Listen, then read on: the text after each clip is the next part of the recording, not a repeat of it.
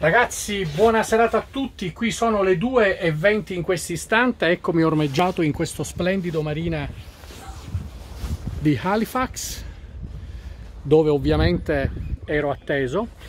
E allora, la decisione di partire oggi è stata eh, un po' complicata perché nella realtà questa notte arriva l'uragano che è stato declassato a 1 o comunque tempesta, quindi nodi di vento intorno ai 50, massimo 60 e abbiamo, insomma, eh, siamo tutti abbastanza preoccupati, qui ognuno cerca di mettere più cime possibili per cercare di tenere a bada dal vento le proprie barche.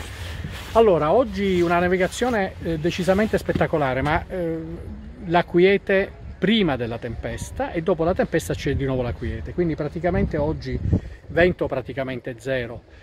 4-5 nodi veramente nulla di che. Onda lunga e ho infatti ottenuto una media altissima. 8 ore e 50 di navigazione per 240 miglia comprese anche la sosta per fare il travaso di carburante e fare i prelievi del CNR vi aggiornerò sicuramente domani, nel frattempo io vi ringrazio a tutti e grazie sempre di tutto. Da qui poi c'è il salto per gli Stati Uniti, questo è l'ultimo porto del Canada.